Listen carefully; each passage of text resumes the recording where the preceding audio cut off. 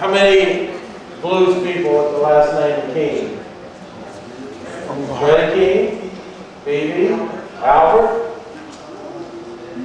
Now this is the fourth good tribute from New Orleans, Earl King. We're gonna talk about him when we go to New Orleans. So, so we got four guys that are great named King. Benny King, hey, who's that? Come on, let's see who's that. Where? All right, out of sight. See, I forgot that one. Thank you. There was a, the singer, Benny King. There you go. That was somebody paying attention over there. Benny King. So there's really five that we know of with the last name of King. Four of them are guitar players. Did, did we get it? I think so. Now wait, see the white guitar behind him?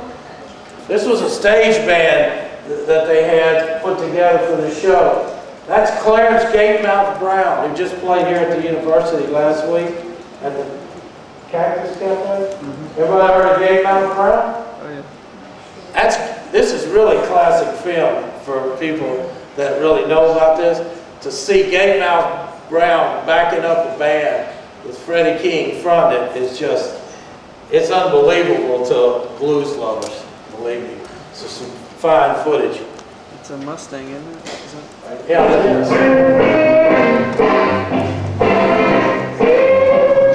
Hello, we got Gatemouth Brown and Freddie King.